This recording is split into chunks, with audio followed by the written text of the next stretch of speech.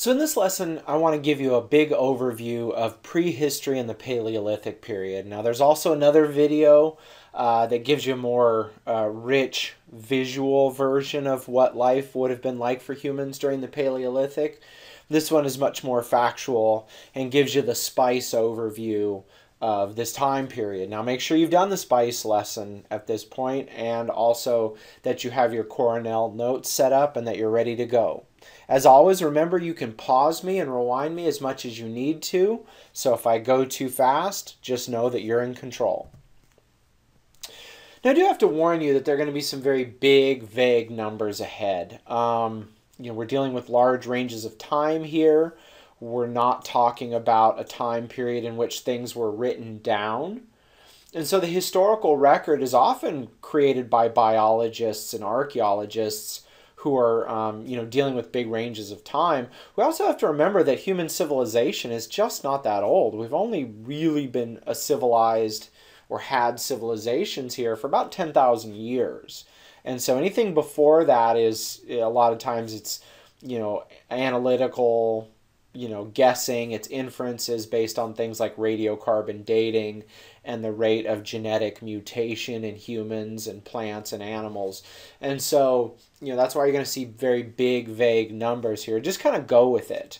Um, you know, and this is going to be very brief, right? Most world history curricula only barely cover human prehistory, and this class is no different. We're going to have a quick couple quick lessons on this and a quiz. Um, and that's going to be pretty much it.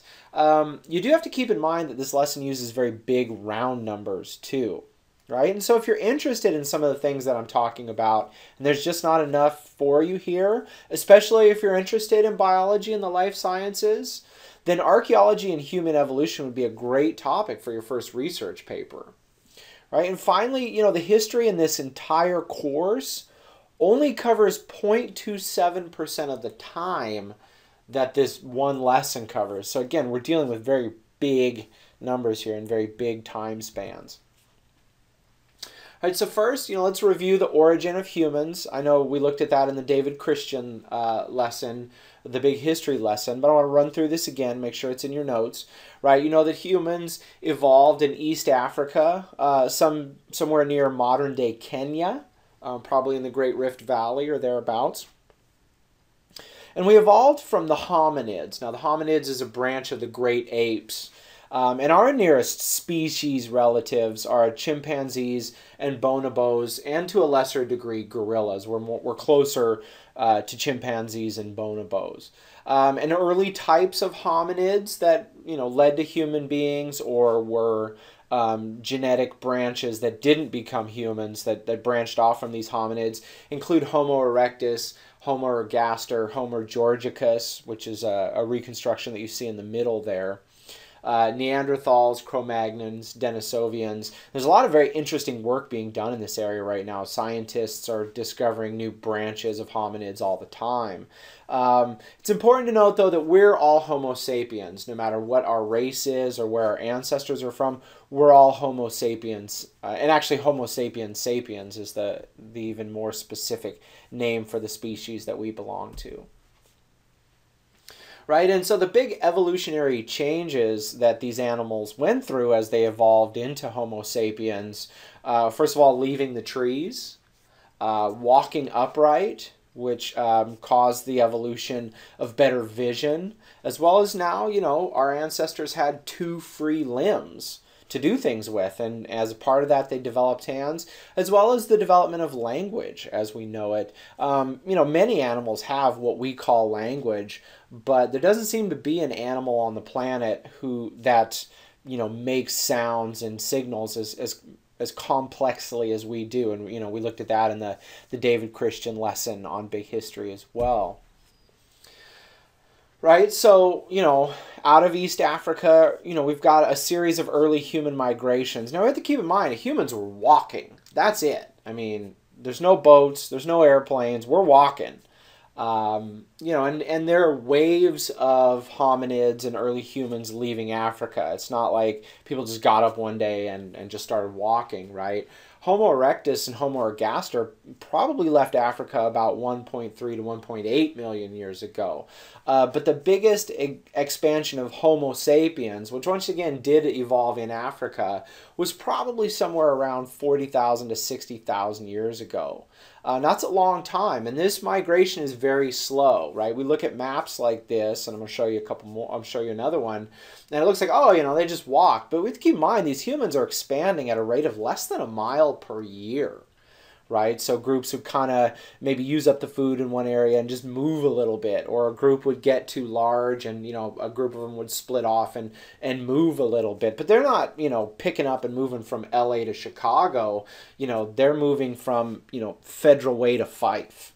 Right, they're moving from Des Moines to North Federal Way. They're not just you know picking up and going you know on a big trek here right? So, you know, we look at this map here, and this gives us a sense of the timeline, right? That KYA, K is for thousand, right? Like kilo, like, you know, kilogram or kilometer, right? So KYA is a thousand years ago, right? So 195,000 years ago is what this um, map argues is, you know, the evolution of human beings. And so we can see, you know, human beings didn't reach um, North America until something like 15 or 25,000 years ago. I've seen numbers as high as 30,000 years ago.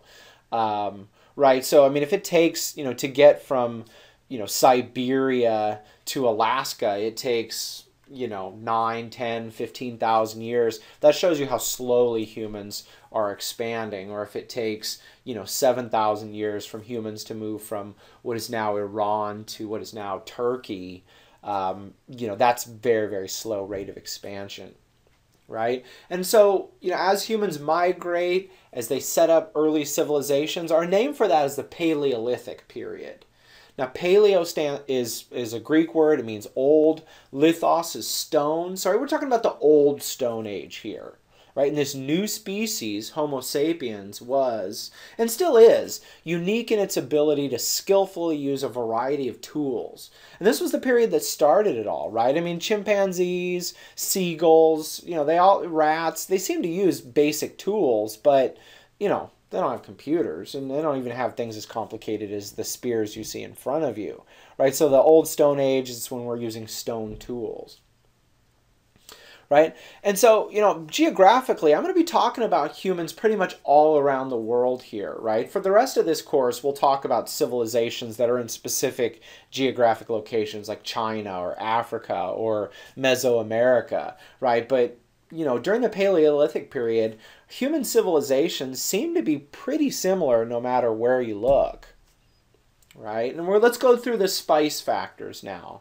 And we're going to kind of roll together the social and political characteristics here, right? Early humans lived in very small groups, usually based on clans. And so these were kind of like small groups of families, you know, like dad and uncle and, you know, aunt. And, you know, you may have, you know, groups as large as 30 or 40 people and all kind of related.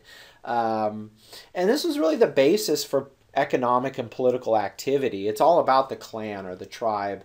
You know, these groups had some contact with each other for very, very limited trade, although they didn't really have much to trade. The big thing would have been intermarriage, right? I mean, if you've got a group of 30 people together for 200 years, there's going to be some inbreeding, right? We don't want three-eyed babies here. So, you know, you've, you're going to have some you know contact to kind of trading of members um, you know to to avoid intermarriage and animals, including humans, seem to instinctively know, you know, you don't fool around with your sister. right? Paleolithic interactions with the environment, right? This is the eye and spice. Right? Humans use simple tools made of bone and stone. Um, they didn't really have a whole lot of control over their environment. Um, you know, they were pretty much at the mercy of, of whatever nature wanted to do to them. But, you know, these early stone tools did enable humans to be able to manipulate nature a little bit. Um, of course, the big breakthrough is fire, right? And, um, you know, fire is probably the original human high technology. Um, and this is something no other animal has control over, right? And think about what you can do with fire, right? You scare off animals, you can clear land of brush. Um, you know, cooking, right? When you cook things like meat, it makes it more edible, makes it softer and easier to digest. It also makes it safer by killing off bacteria and germs and all kinds of yuckies, right? It also allows humans to live in more climates right? And that's another unique thing about human beings. We live in more ecosystems than any animal in the world, including rats. I mean, uh, and cockroaches are kind of nearest competitor. But no animal can live in as many ecosystems and environments as we can, and, and fire is a big part of that, right?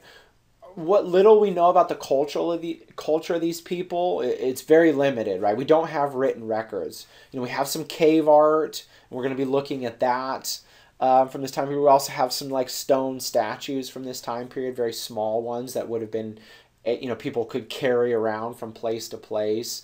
Uh, most of the cultural record that we have is limited to carving, uh, painting, and oral art forms like songs and poetry, right? I mean, keep in mind, again, we're looking at a time period when people didn't know how to write.